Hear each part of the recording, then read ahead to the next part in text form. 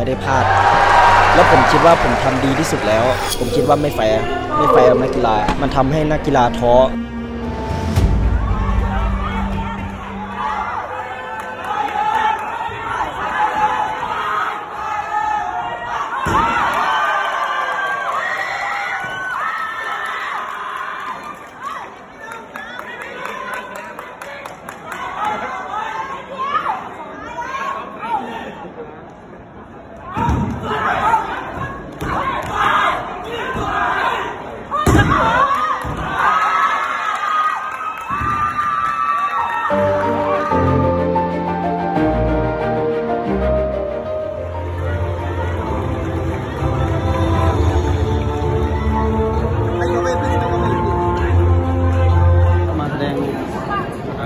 ความมีน้ำใจนักกีฬาครับ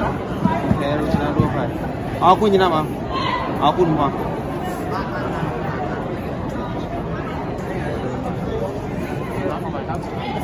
มาเยี่ยมแล้วน้องเยี่ยมแล้วสุดยอดแล้วน้องสุดยอดเมื่อกี้ผมไม่ได้พลาด แล้วผมคิดว่าผมทำดีที่สุดแล้ว ผมคิดว่า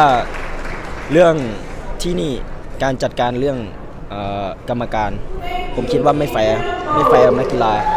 ไม่แฟร์ทั้ง ทั้งที่นี่เลยครับ ก็คือเขาจะโกงเอาดื้อๆเลย ผมคิดว่ามันทำให้นักกีฬาท้อ เพราะว่าผมเองก็เก็บตัวมาหลายเดือนหลายเดือนมากๆครับ จนผมไม่ได้กลับบ้านเลย ไม่ได้ไปหาแม่ ไม่ได้ไปเจอใคร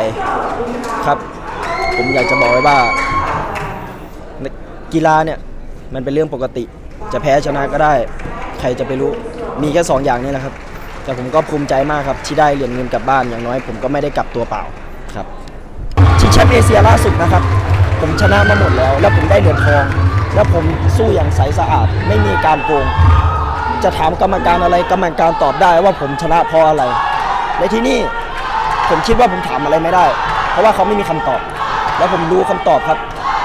เขาโกงเราดื้อคาใจไหมที่แบบมันยอมแพ้คาสายตาขนาดนี้ๆเอ่อถามว่าคาใจไหมมันคาใจมากเลยครับ ก็ไม่รู้ว่าเขาทำไมถึงทำแบบนี้ทำไปเพื่ออะไร แต่คุณรู้ไหมว่าซีเกมครั้งหน้า เจอผมแน่ผมเอาคืน ข่าวสดสื่อออนไลน์คุณภาพที่มีผู้ติดตามทางโซเชียลมากกว่า 19 ล้าน follower อย่าลืมติดตามคลิปดีๆ สาระความบันเทิงข่าวด่วนแบบฉับไวกับข่าวสดออนไลน์ทุกช่องทาง ไม่ว่าจะเป็น Facebook Twitter Instagram YouTube และ TikTok ค่ะ และตอนนี้นะคะแฟนเพจ Facebook สามารถส่งดาวมาเพื่อเป็นกำลังใจให้กับทีมงานข่าวสดได้แล้วค่ะ